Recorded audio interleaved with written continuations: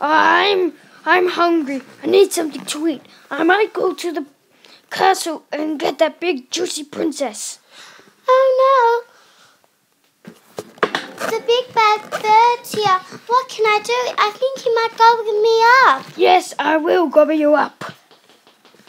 Please help me, Please help me, Prince. I'm here for you, Princess. Thank you.